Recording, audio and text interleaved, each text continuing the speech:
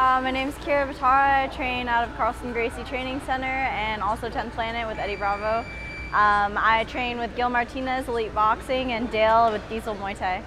I started with Jiu Jitsu in 2008. I was really young. I was in eighth grade, 13 years old. Uh, I've always been huge daddy's girl, so when he told me he wanted me to try training in uh, 2008, I wasn't really into it. I was a cheerleader. It was not the cool thing to do. There was no girls training at the time. I was the only girl on the mat. And so I trained with my dad every single day. Um, every time we'd go there, no one would be my partner, just my dad. So I thought it was really cool that I could just hang out with him and learn new techniques and get um, understand what jujitsu is all about. Uh, he registered me for a tournament two months later, and I fell in love with it. My first competition, I went against two high school boys, beat them up a little bit, and I, I knew I wanted to be a fighter after that. I grew up in Washington since I was in first grade. Um, after I graduated high school, that's when I started my MMA career. I had three fights already. I was two and one as an amateur, and my dad was talking about moving to California or Vegas. And uh, I was homeschooled all through high school except for my freshman year. So I knew since I was 14 that fighting was what I wanted to do. And so moving to California to better my career and grow as a fighter it was something that I knew that was going to be all for the positive. Um, my best friends are my brother and my sister. I'm really close with my family. So as long as I had my family supporting me, I knew that Vegas was going to be a good move.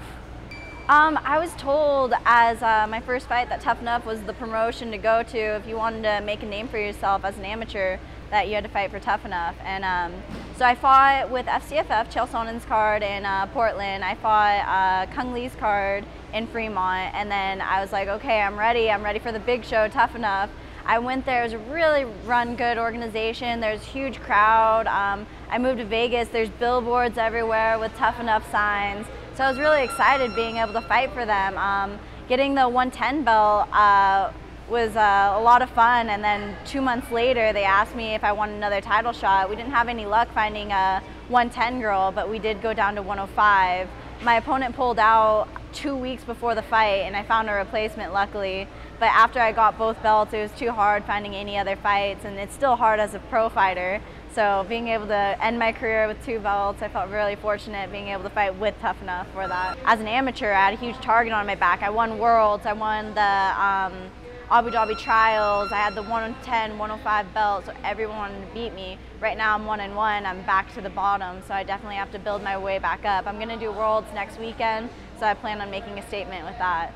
Um, all through high school, I had a very selective group of friends. I didn't really, I was the one that went out to all the football games. I didn't go to all the high school dances. I was always more just about, I was a Girl Scout all growing up. I was in the real tight group. Um, I was homeschooled sophomore, junior, senior year. I was always just real close with the little kids, with my brother, with my wrestling team.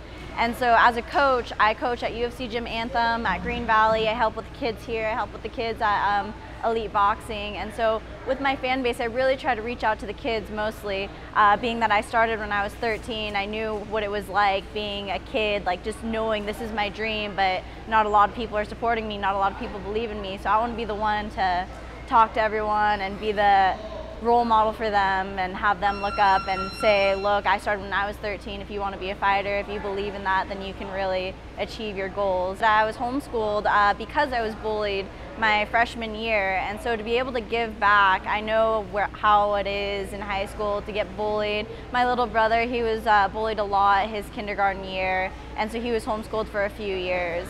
And so being able to give back, I feel like I can connect with um, people through a different way instead of just being the fighter that they see on TV or the fighter they see on Instagram. Like I want to be able to go to these events and connect to them more on an emotional level and be one-on-one -on -one with them, help them out, tell them my story, tell them what it's all about. I want to take the toughest girl. I'm not being picky with my fights. I don't want to go against the girls that have had one, two fights. I'll go against the top 10 right now. If they can give me a a good shot with uh, one of the top five girls with Invicta, I'll take it in a second. Uh, one of the 10th Planet coaches I was driving with him to practice one day and he looks at me and goes, okay, it's either Gremlin or, or Gizmo or Mogwai. And I was like, well, my dog's name, my grandma's dog's name is Gizmo, so I'll take for Mogwai. And uh, he says, because I'm cute and little, and as soon as I get that bright light on me, that I turn into a little gremlin in the cage. My name's Kyra Mogwai Batara, and I'm the future of MMA.